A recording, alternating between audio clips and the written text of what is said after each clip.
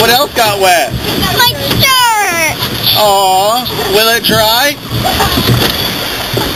Can you tell Lizzie she's a bad driver?